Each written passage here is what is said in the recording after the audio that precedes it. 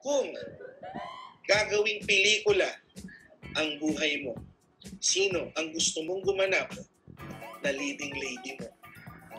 That's hard. So, um, ladies and gentlemen, we are here, mga ka-guest room, no, with my very first, very first po na guest. Of course, uh, very close to my heart. Uh, he's my cousin, my brother from another mother. Ladies and gentlemen, Mr. Mark Ferrer. Yes, yes. Yeah. Pare, Brad, Tol, kamusta? Kamusta? I'm doing good. How about you? Ah, okay naman. Ito, ah, nag-vlog sana. Vlog ba tawag dito? I don't know. But anyway, it's it's a talk show. Um, I, I'm, I'm really happy pare na pinagbigyan mo yung, uh, syempre, yung kahilingan ko na for you Ah, to be the course. first one. Oo. So, dude, pare, tol, uh, before anything else, no, uh, because our topic for today will be purely on, uh, of course, investment. Actually, for the whole month Okay. round, eh, medyo yun ang tema ko.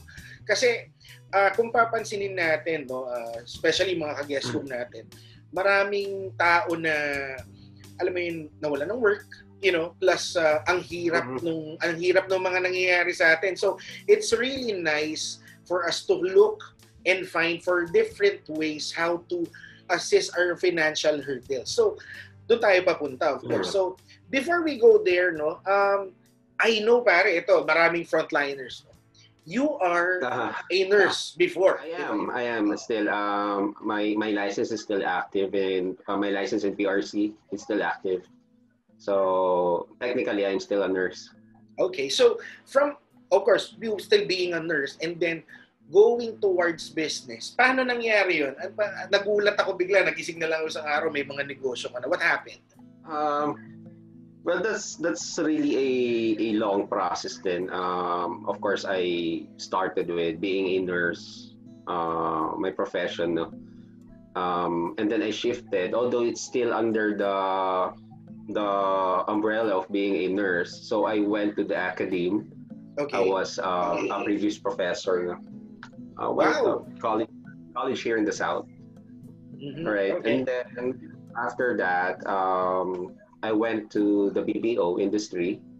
So Okay. I was also, um, you know, um, a manager um, doing healthcare, um, the healthcare aspect of the BPO. That was the, you know, the, the time I joined, that was the biggest um, um, account that, you know, uh, BPO companies have. So the health, the, the healthcare sector.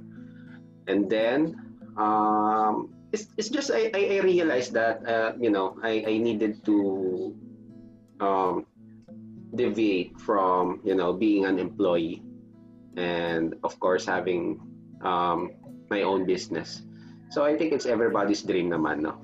Oh, Um, have your own business, right. to have uh, fi- um, you know time freedom and something like that. So all you have to do is to take the leap.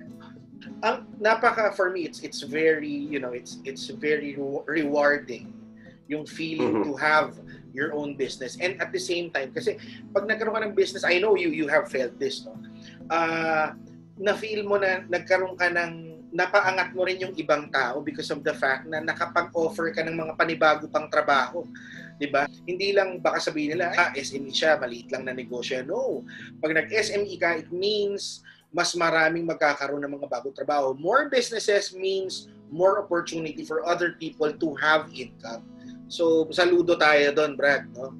Best move yun, best move. So anyway, pare, going going back to ano no to to, uh, to the BPO medyo ano gusto ko lang ah, magkaroon lang ng linaw no Ah, what's this yung sabi mo healthcare part ano yun ikaw yung nurse doon or yung sabi mo meron kayong hinahawakan na pra- product so pa- paano yung hinahawakan nyo na account na yun pare how can a Mhm. nurse survive in that kind of uh, ano business model So, um, I forgot to mention it. I am also a U.S. registered nurse wow of Texas. Yeah.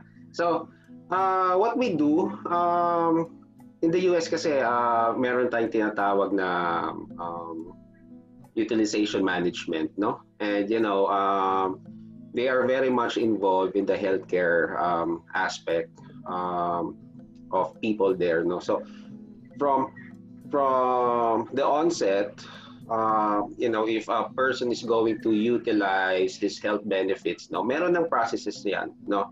So there would be um, reviews, um, there would be approvals and everything, no. So that's where the healthcare um, knowledge of the nurses comes in, na nasa call center sila, no. Okay. Cisco is known known here as call center. So, uh, but for me, we we used to call it not business process outsourcing. Okay. It's knowledge process outsourcing because what they are outsourcing is the knowledge part of it, Oo. and not the business part. Yeah. So Yung expertise, no? Yung expertise. our our expertise. No, they need our brains. Yes. They need yes. the nurses' brains. Yeah. So that's what we do in the BPO industry. ang ang solid doon, most nurses no sa buong mundo ay Pilipino. At 'yun ang ating ah, ano Mhm. kaya in terms of ah, a- anything no ah, na- number one siguro ang number one import ng Pilipino ay nurse din ano. Uh, At hindi Agree. lang hindi lang sa hospital pala talaga nag-work, ah, pwede mag-work ang nurse pati rin sa BPO na nasa health department no, ah, health products no. Ang galing, ang dami ah, health- opportunity. Oo. health accounts. Yeah. Health accounts, yeah, oo. Daming opportunity. Anyway, from from there, no, ah, nagnegosyo ka, ano yung, ito yung nabigla na lang ako one day pag ah, bigla na lang may lumabas sa Facebook ko, uh, Papsilog. So, ba- bakit bigla kang nagpunta ng, ng, ano, ng, ng food industry bigla? Well, um, technically, the food industry, I think that's the most sustainable uh, business. Eh. Uh, so, um, I had the opportunity kasi, uh, karoon ako ng kaunting um, pagpuhunan. And um, so this good friend of mine, who is the the the one who conceptualized uh, Papsilog, Okay. So I, I went to him and he said, uh, yeah, sure. Um, I'll be more than wi- willing to help you, uh, you know, to set set up everything and to guide you al- along along the way. Ganyan. Right. So uh, me being from, you know, um, I, I, I don't have, you know, um, economics background. I, I don't have any previous uh, businesses that I handled. So I think it's a good move to have somebody um, guiding me. Okay. So yeah, uh, that's it. Um, I, I, I chose that eh, because I, I also saw the potential in that business. Right. So, of course, no, ah, alam naman natin, you know, a predicament happened to everybody in the world, which Uh-huh. is Uh-huh. you know the COVID-19. So so nung nangyari nga Yeah. uh, your your your uh, your business establishment pare had to close down due to the you know to the pandemic. You opt in to another venture, okay? Which yun yung talagang main topic natin today. Right? Alam ko magkasabay Ah. lang halos eh, no? Meron yata ang papsilog na, I don't know, pwedeng ikwento mo na lang sa akin. Pero, yun yung nakita ko eh. When, when the pandemic started coming in, you were posting some of some really really interesting interesting way on how to create you know um, new a new way of course a new way how to to assist our financial problems no? so nakita ko siya nagtanong ako ano to and then of course that is you know ethereum which is actually a cryptocurrency so before we go to ethereum and for such pare gusto ko lang malinawan kasi for sure some of the people na mga you know the normal us doesn't really understand what cryptocurrency is or neither yung ano nga yung stocks di rin alam di pa nila naiintindihan yung the concept Mhm. behind so pare can, can you enlighten us kung ano man yung alam mo konti or whatever sa cryptocurrency Give you a bird's eye view. Uh, cryptocurrency, it's called a digital currency. So it's different from digital money. So when you say digital money, these are, you know, the money in your GCash or in your um, coins.ph, you know. Um, so that's digital money, you know. That's peso, di ba? If you have money there, that's peso. This one is different. This is digital currency. Um, however, uh, the main difference would be it's, it's not regulated by banks. Okay. Okay. Um, so the most popular that you have is Bitcoin. Okay. Okay. Um, I, I know majority of uh, you know um, our viewers here they'll have an idea of what Bitcoin is. Four years ago, yeah, I think yeah. uh, there's this Bitcoin craze, no? Oh. Uh, so some people joined, some people did not. Some people they they you know they doubted. Yeah, and, and I heard pare, yeah. bit that Bitcoin I is I heard that Bitcoin is uh, kind of expensive. I think Bitcoin is around 470 to 480,000 pesos. Yeah. What is for one Bitcoin? Kalahating milyon. And if you wanted to utilize uh, Bitcoin and use it for trading, definitely that's a big amount of money. Right. Um, on the other hand, the the second most popular um, cryptocurrency, you have Ether, no, or Ethereum, kung tawagin. Yes. So Ethereum, it's equivalent when I joined. Uh, that was uh, four months ago, three or four months ago. Okay. Um, its equivalent is only eleven thousand eight hundred. Wow. Okay, eleven thousand eight hundred pesos. So, kayang-kaya, di ba? Oo. Um, also, there's this um, program that I joined uh, which is called Forsage. Forsage is one of the uh, what do you call this? One of the DeFi, you know, the decentralized financial applications, no. So okay. actually, it is the pioneer, and nowadays marami na nagsulputan na mga kasunod.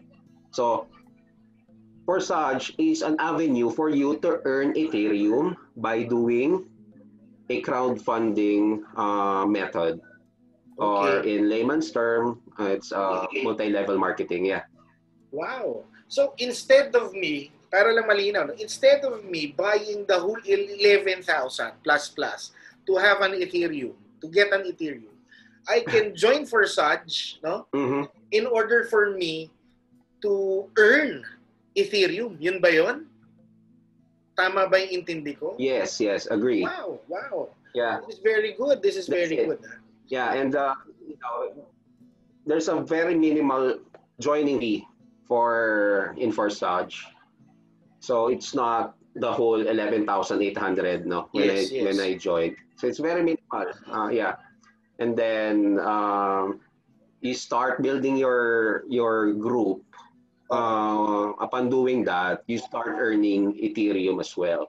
Wow. So if if you notice um, before um, here in the Philippines, we have this, you know, networking, pyramiding. Uh, you know, um, if you talk to people, the first thing that comes into their mind is that it is a scam. Something Right. like that, no? Which which is kasi marami Yeah. naman talagang naloko din. Sa iba, I'm not saying Oo. every, I'm not saying all. I'm saying yung iba talaga, 'di ba? So there are some who are successful, no? Yes. However, uh, there had been some upgrades, no? Um, we, we, we really don't call this as networking or pyramiding. Eh. Right. The most closest to this one would be M- MLM or multi-level marketing. Okay. And it has um, very good upgrades, no? Uh, for such, no? Una-una, i- uh, comparison.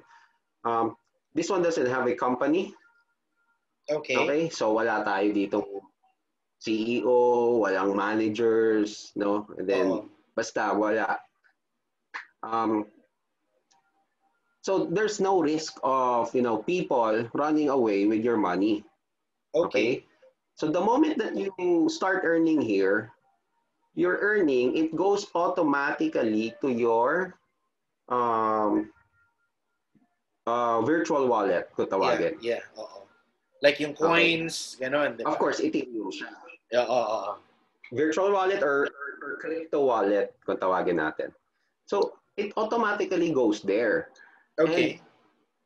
This one, it's being run by a smart contract. So, when you say smart contract, this is technically a contract between two parties, no? So, this time it's me and um, the blockchain. Okay. And it has a set of algorithms, okay? na hindi siya po pwedeng mabago. So kapag sinabi na kapag ako ay nagpasok ng isang tao, I will get this XX amount of um, crypto. And I will get that. Walang Okay. pwedeng makabago nun. Ang Okay, galing. so that's the beauty of it. It's being run by a yeah, by a program. As compared to, you know, the MLMs before, no? right. They have to to, you know, wait for like a week or two weeks before they can get their earnings, no? So they, they have to go to the office and then they have to line up and then you know the office is going to give them a check and then Oo. you deposit the check to your bank. It needs a clearing period. So it's longer. This one, the moment that you earn, it goes to your wallet. And now, if it's in your wallet, it's up to you kung anong gagawin mo. Do you want to do trading? Do you want to convert that to fiat currency? Right? Do you want to, you know, splurge it on shopping or, you know, have, just have coffee, something like that? Yeah. Ka na. So, I, I, I don't know, ju- just to, ano, no, no, Hmm. uh, just to put a light on everything. Uh, how I look at it, it's very, it's very, ano eh, it's very now. That's the good thing about Ethereum and this for Forsage thing na may, eh, ano, may multi-level marketing attack. Because it's not, you know, the, the usual kind of networking that we're used to, which is, yun nga yung may pupunta ka na ang dami-dami nyo na akala mo Bible study yung pinasok, pinasok mo. di ba? And then, Oh. magpapakita sila ng kotse or whatsoever. And, and the good thing is that it's very timely now because of the fact that everybody's at home. Which is really good. You're, you're parang, you It know, is. parang, parang sa stocks, di ba? You can trade at home. Where, kahit nasa CR ka and you're doing your thing, you can actually trade. And at the same time, with Ethereum, I can see that, that you're saying that kahit nasa bahay ka lang, hindi mo gagawin yung pupunta ka, pipila ka, makikinig ka, kukunin mo yung pera mo. Dito hindi. So ang ganda, ang galing. Okay, so for ano no, for for those people who uh, who are still pare on the fence no, but before they wanted to go and, you know, invest. Kasi nakikita ko it's, it's really a great way, 'di ba? Para ma sa bahay ka lang, wala ka namang ginagawa, you can you can actually, you know, do networking at home na hindi mo na ka- kailangan lumabas. Yeah. Kasi ito, pupunta pa agad sa parang parang load wallet eh, no? Ganyan yung tingin ko eh. Pero hindi. Doon sa may parang oo, virtual oo, wallet. agree. So, para for those people who uh, who want it, no? kasi I'm sure marami dyan, uy, okay yun ah. Magkano lang, magkano ba siya? Yan yung una kong tanong. Kasi kung sinasabi mo, I, I'm not I'm not really parang if if I'm going to sell it, it's not really parang multi-level. It's it's more on the crowdfunding part. Eh. Parang pare lahat tayo bakas-bakas. Yeah. Parang ganun siya, ganun yung ginawa nila. Instead of us buy me buying this, why not all of us buy this? And then lahat tayo na bumakas, kikita. Ganun ko siya nakikita. Hindi siya yung parang, o kuha ka ng tatlo, kuha ka ng apat, Agree. kuha ka, hindi siya ganun. Ganun ko siya nakikita. Ganun yung parang uh, concept of business that I'm looking at. So, now pare that na, na medyo na-establish natin, um, magkano ba siya if I wanted to uh, to opt in and then what are my expectations that's the second one and the third one is what are you expecting for from those people na papasok The question is how much is needed for you to join? yes yes So nagbabago siya.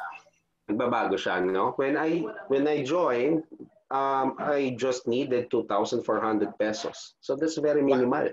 Okay And if I'm going to offer that, people, uh, it's enticing, no? Ah, kasi nga, di ba, maliit lang, no? However, um, from the time that I joined until now, um, si Ethereum, nagkaroon siya ng trend ng ano eh, uh, bullish trend, no? So nag increase yung kanyang tinatawag natin na value. Okay? And what happened is, um, tumaas na yung equivalent value niya. Hence, yung joining fee, medyo dumoble. No? So, for you to join, um, nowadays, it'll cost you um, around 4,500 to 5,000 pesos. So, Pero ganun na yung naging shift niya, dumoble. So Yeah, just like yeah. just like any But other however- stocks, no? Just like any other foreign foreign, exchange, nag-fluctuate din talaga yung value. Tama? So it's as the same. Yeah. Diba? O hindi siya Mm. parang parang uy nagmahal naman tong an- ano tong uh, package natin ng products. Na 'di ba sa mga networking may package products sila. Dito hindi. So dapat expect ng tao na oh magbabago yung entry levels natin, yung entry point natin because of the fact that it is a currency.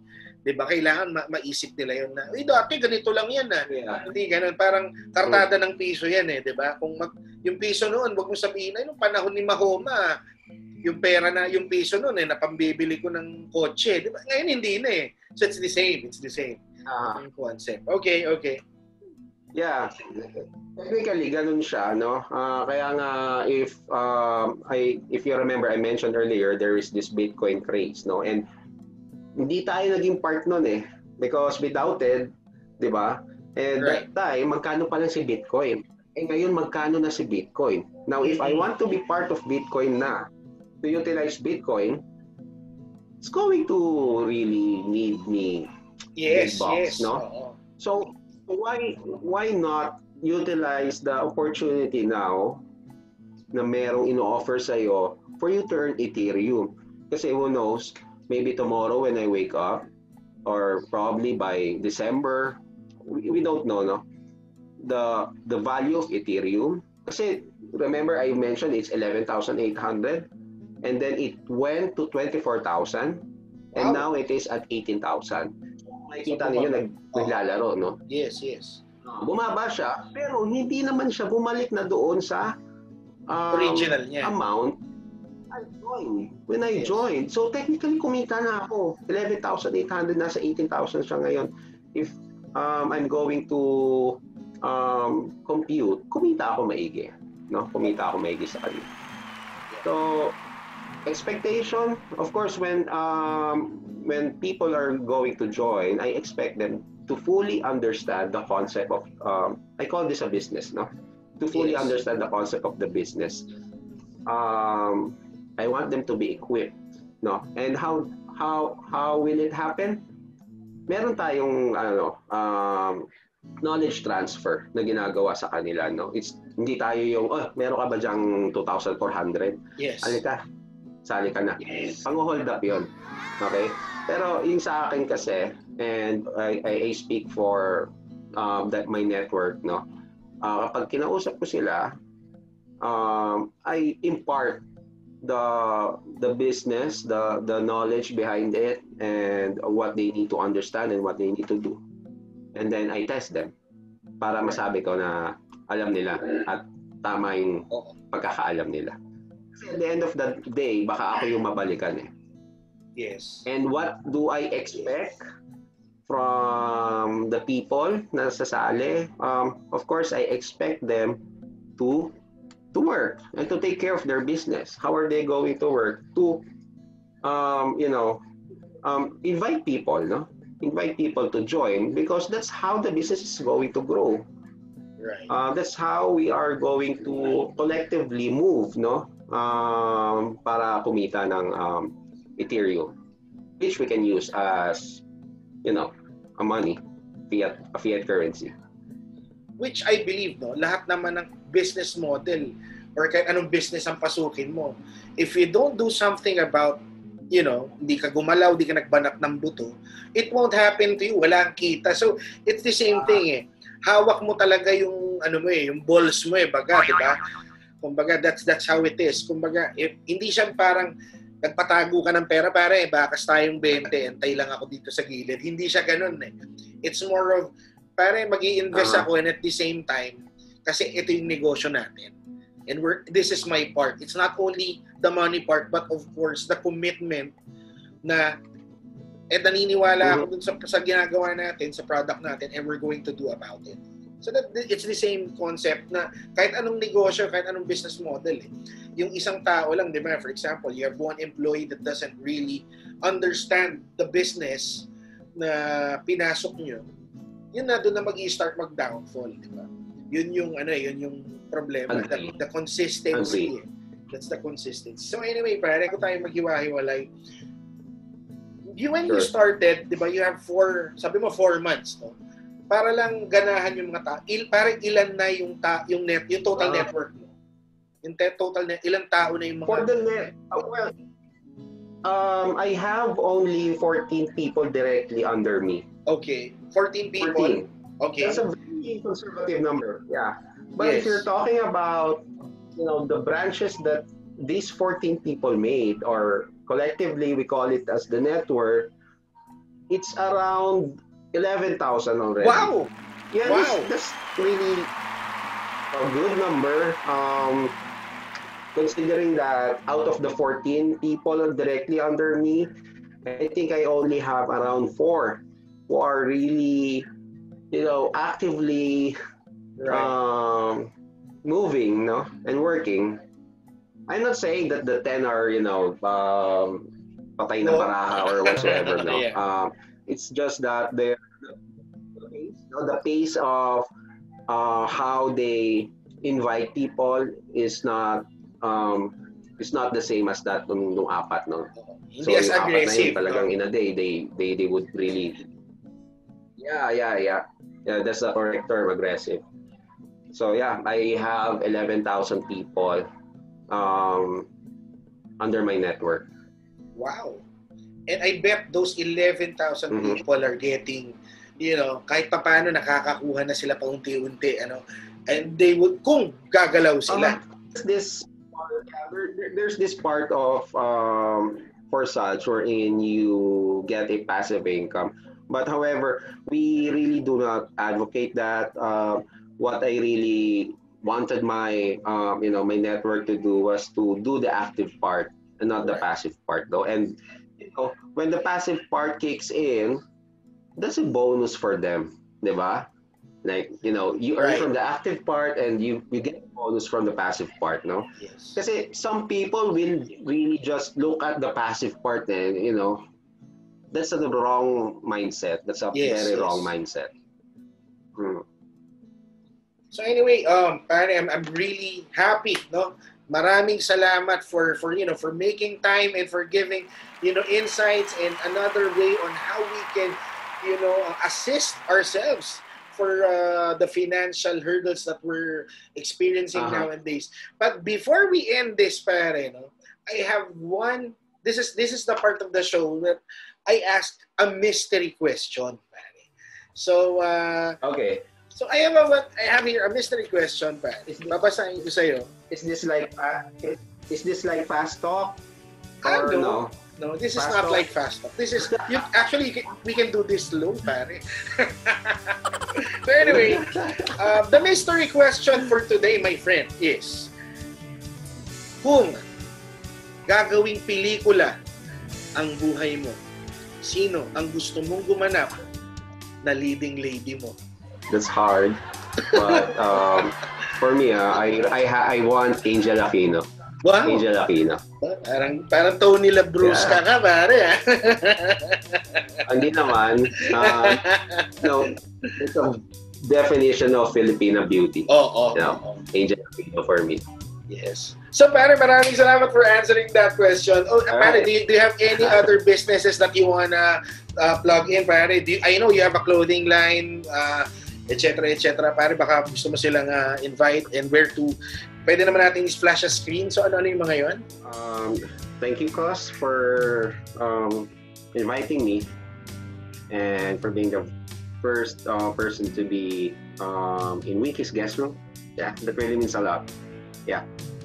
Um, also, I'd like to uh, you know mention the different businesses that I'm supporting. Uh, of course, unang-una, you have Papsilog. Papsilog is in Las Piñas. Um, it's near BF Almanza. Um, their silog meals and their burgers are definitely must try. And then you have Mom and Pat. Um, they make very good brownies and crinkles, no? Um, this one is in San Pedro, Laguna naman. And of course, lastly, you have XX Clothing, uh, the one I'm wearing. So you can go to their Facebook page. They have a very good variety of designs that you can choose from. So go ahead, check out these businesses. Um, go and like their page and you know um, support local businesses. Thank you. Thank you very much, Mark. Uh, sobrang uh, insightful ng mga sinabi mo. I hope yung mga tao na naintindihan nila and they they have been enlightened with all the things that you know we have discussed for today or tonight kung anong oras man nila ito pinapanood. Well, anyway, maraming salamat mga ka-guest room. No? Sana next time samahan niyo po kami ulit with my next guest. Only here at, of course, Winky's Guest Room. If you love this, of course, please do like, subscribe, and please do share it sa mga friends ninyo. Always remember, be the solution, okay? And spread love. Marami pong salamat. Till next time. Alam ko ngayon lang tayo nagkakilala. Pero mahal na kita. Nandito ka. eh. Nandito ka. Ikaw. Ikaw lang. Mm-mm. Kaya, like mo, share mo, subscribe mo. 'Di ba?